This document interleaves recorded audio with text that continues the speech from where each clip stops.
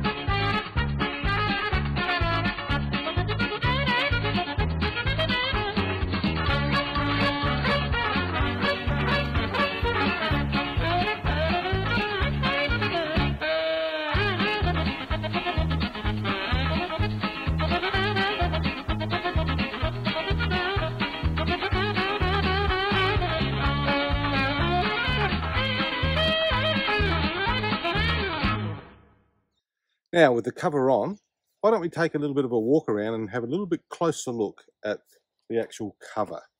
Now, you would have seen when we first put it on, we lifted it up with some poles and took it across.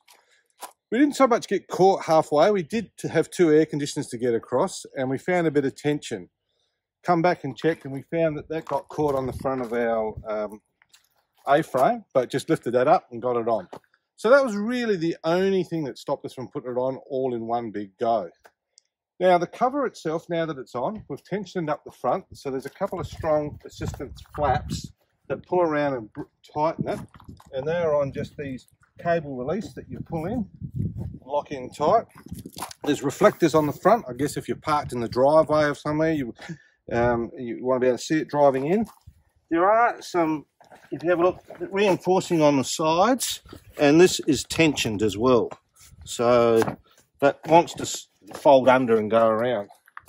If we come around to the offside here, what we're yet to do is put the underneath straps through. Now there's, I think there's five of those. I've already pushed one through. They're just straps similar to the same. They've got clips on the end of them. We'll have a look at one around the other side. But when you pull that through, that'll pull the remainder underneath. Now the material itself feels quite, quite strong. You know, it's, it's, it's, it's strong material. There's those uh, vents that Linda was talking about beforehand. So that's going to let some air get through. And you can see the top part of the roof is where that triple layer is. There's the pole lifter that we put in. So we just put a couple of our uh, poles that we've got in the, the shed put them up, lifted them over, and it worked quite well. There's a zip at the rear, so you would have seen this. We've had to roll that bit down and then roll that up. Reflector again. Now, there is a zip on this side. but If we come around here, there's a zip in the middle and a zip down the front. So if you had a rear door entry caravan, you would be undoing this zip and the zip at the rear, rolling that up, and then you can see it's got the Velcros you would have seen when we did the van, uh, our cover, that we had this side lifted up because that's where our door is. Now in regards to those tensioning straps underneath, I have put this one here on. And there it is there, it just clips on, like so. Yeah, from underneath, in, tension it up, and it's done. And the zips, they've got little uh, Velcro covers over the side of them. So, you know, was it a hassle to fit?